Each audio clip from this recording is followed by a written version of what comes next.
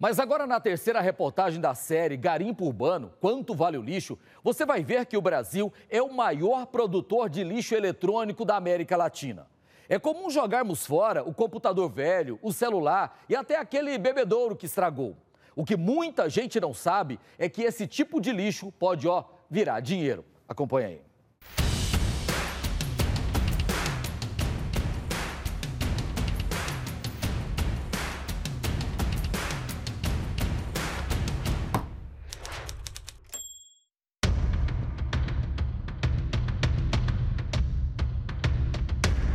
Todos os dias, uma grande quantidade de lixo eletrônico é jogada fora em áreas ambientais como essa e até misturada ao lixo comum que vai parar nos aterros sanitários. São computadores, TVs, impressoras, utensílios domésticos e até cabos de eletroeletrônicos. É tanto lixo que, segundo o relatório da ONU, o Brasil produz cerca de um milhão e meio de toneladas de lixo eletrônico por ano.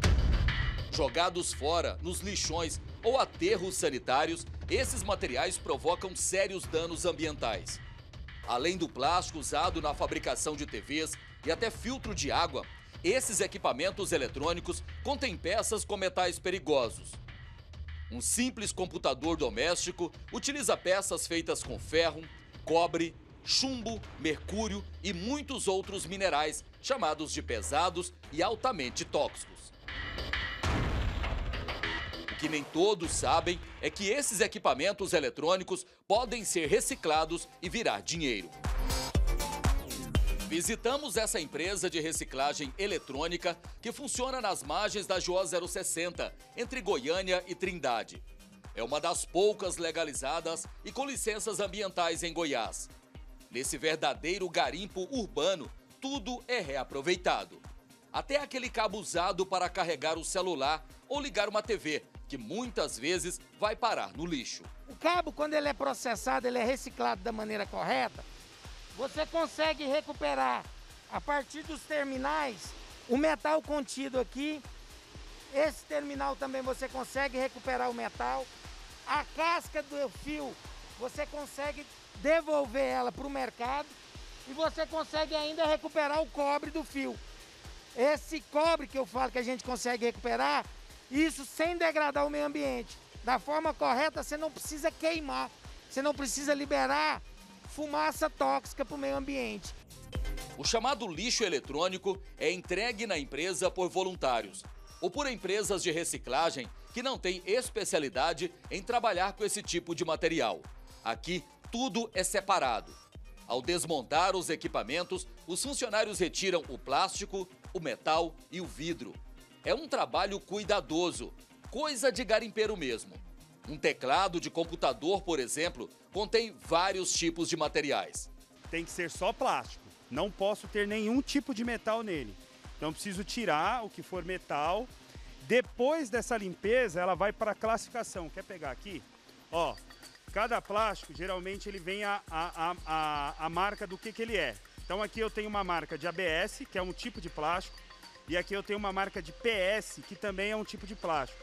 Tá vendo que a seta tá apontando para o PS? Ah. Então ele é um plástico PS.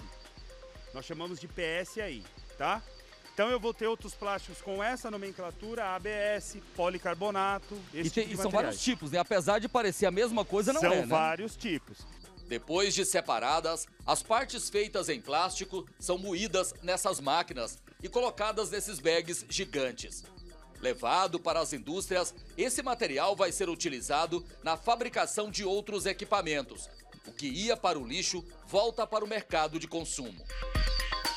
Esse tipo de empresa é considerada no setor de reciclagem como uma espécie de mineradora do século 21, uma espécie de garimpo. Isso porque por trás de equipamentos como esse aqui, ó, impressoras, né, tem aqui também no breaks, como a gente pode ver, muitos no breaks, ar condicionado, impressoras, por trás de todos esses equipamentos, além do plástico, existem muitos metais e é justamente por isso que o setor é chamado de o garimpo do século 21. O Sandro vai explicar para gente o seguinte: a valorização, infelizmente, não veio pela consciência ambiental, mas pela consciência econômica.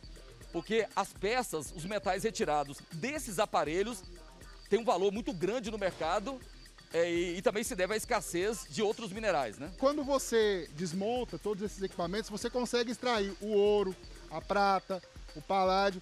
Todo esse material ele consegue ser agregado novamente na, na cadeia produtiva. E, consequentemente, sai até mais barato a produção de você tirar, por exemplo, um quilo de ouro desse tipo de reciclagem, na, na reciclagem, do que você extrair isso na natureza novamente. Por você, você promover um garimpo hoje, o impacto do garimpo na natureza hoje é muito alto. E quando você promove a reciclagem da, da, da, do material eletroeletrônico, você tem esse ganho social, econômico e ambiental.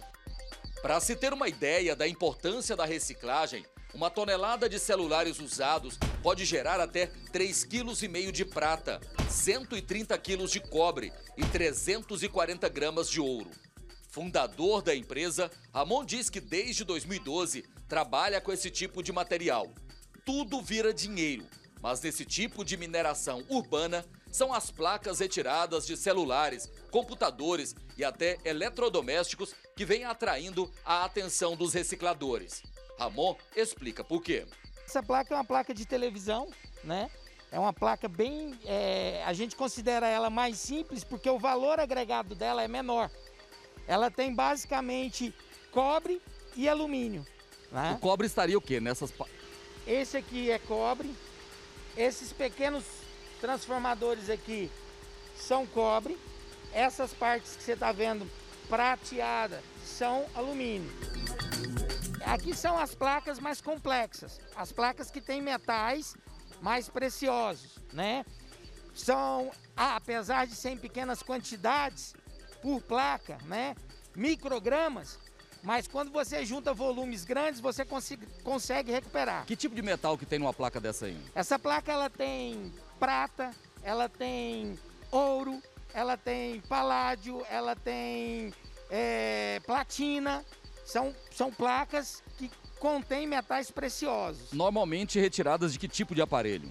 Computadores, notebooks, aparelhos de celular, aparelhos que geralmente é, têm processamento de dados, que têm necessidade de guardar informações, principalmente que usam chips, microchips. A maior quantidade de metais ficam nesses pequenos microchips.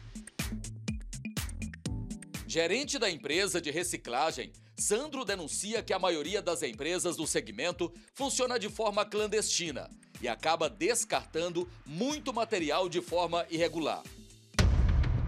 Como num garimpo, tem empresas que retiram o material que vale mais e descartam o restante nos terrenos baldios e áreas ambientais. O chamado lixo eletrônico é uma mina de dinheiro. Mas trabalhar com esses produtos é perigoso. O vidro de TVs e computadores é usado na fabricação de porcelanato, mas manipulado de forma irregular pode provocar doenças. Queimado, ele libera gases nocivos ao meio ambiente e a própria gestão do, do, do cuidado que precisa ser feito, porque isso aqui também pode provocar acidentes de trabalho. Então é um tipo de material que também requer um cuidado especial. Sim, também requer um, um, um cuidado muito especial por ser a questão de segurança do trabalho e a questão do, do, dos gases, porque eles costumam queimar ou jogar isso no meio ambiente, né? Um outro lixo perigoso é a tinta usada em impressoras, os chamados toners.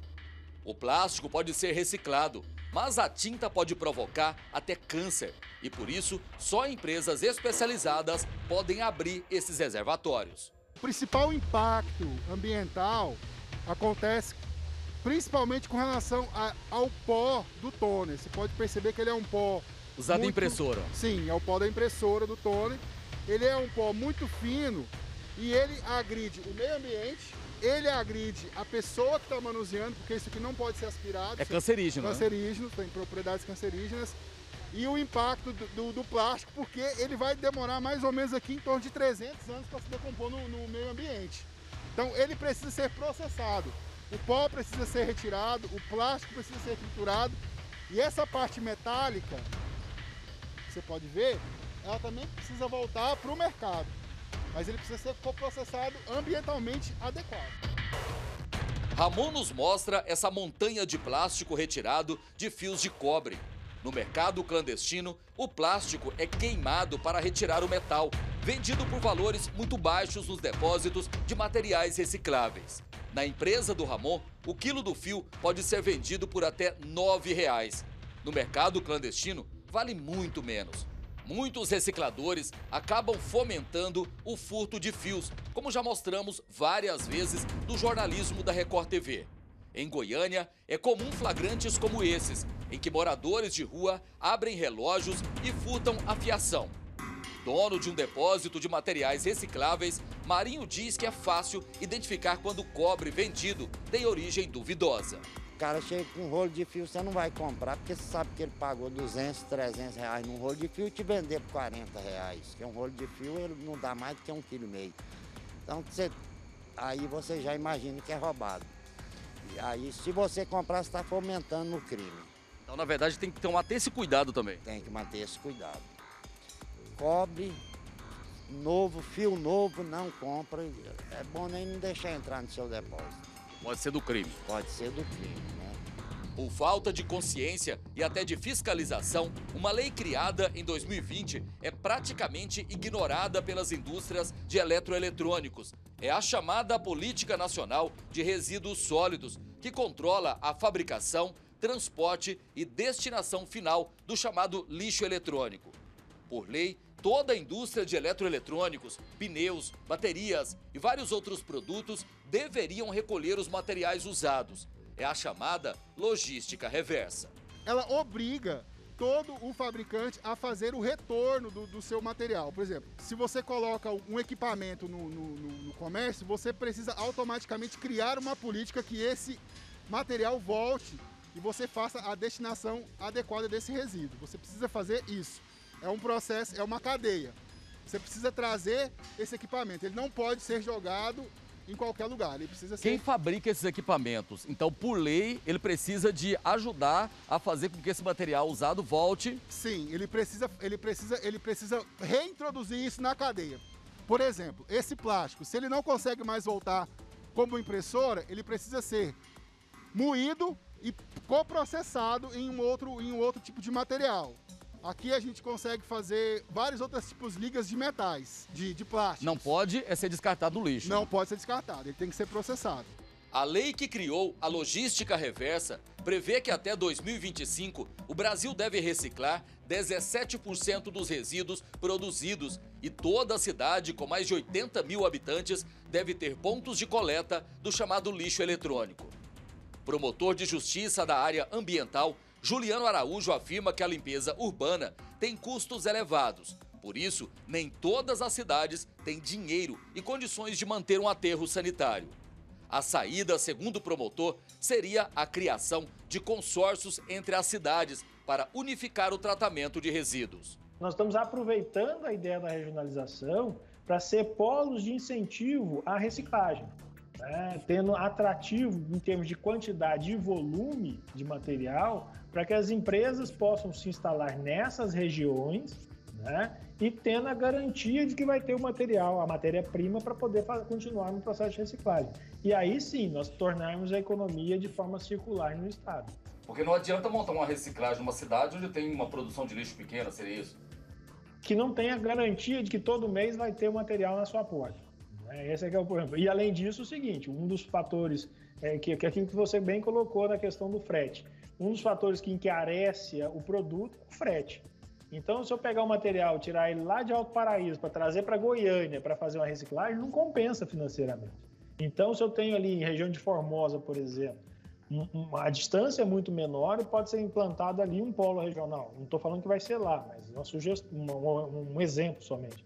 Especializado na área ambiental, o promotor afirma que é preciso incentivar e estimular o funcionamento das cooperativas de recicláveis e assim evitar que tanto lixo seja descartado em aterros sanitários. A partir do momento que a gente incluir essa externalidade de forma regionalizada, as empresas já podemos chamar as empresas, olha, vem cá, eu estou aqui com isopor parado aqui, ó, cadê os fabricantes de isopor? Vem cá e vamos, ou vocês dão um, um, fim é isso aqui, ou eu vou cobrar tanto dessa, dessa, de vocês. Então é essa que é a responsabilidade. A lei estabeleceu essa responsabilidade compartilhada pelo ciclo de vida do produto. É complexo? Não. Cada empresa, cada indústria é responsável por uma parte, inclusive o consumidor final também é responsável. Então, assim, a gente começar a colocar essa responsabilização precisa ter escala, ter volume. E essa ideia da regionalização é buscar essa, essa escala e volume, não só para tratamento, mas também para o beneficiamento em termos de reciclagem. Segundo o promotor, o lixo não é um problema só das prefeituras, mas de toda a sociedade. Está na lei. Quem gera o lixo é responsável por ele. Apesar de proteger o meio ambiente e gerar muitos empregos, quem trabalha com reciclagem reclama da falta de incentivos por parte do poder público. Não são todos os municípios que têm essa preocupação. Alguns é, gestores, né, alguns políticos já despertaram, mas assim é muito pequeno. Tem coisa muito grande ainda a ser feita.